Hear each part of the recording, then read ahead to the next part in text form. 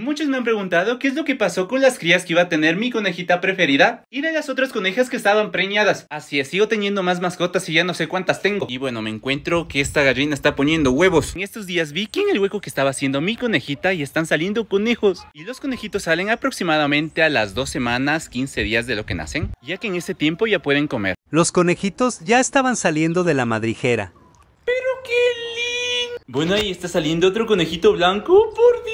Bueno, de este hueco están saliendo los conejitos. Esperemos que asome uno. Miren, aquí los gallos están todos tranquilos. Ah, pero ese ya me está cazando. Ya están saliendo los conejos, así que voy a intentarlos atrapar. Bueno, voy a atraparles antes de que llueva. Bueno, aquí está mi conejita. Le di un poco de alfalfa para que se pueda quedar aquí. Y así poder salvar a las crías de los gatos. Como saben, atrapar conejos es bien cagado. Pero ahí voy. Bueno, aquí tenemos a uno. Bueno, aquí tenemos a dos. Aquí tenemos a otro. Con este tres. La conejita es igualita.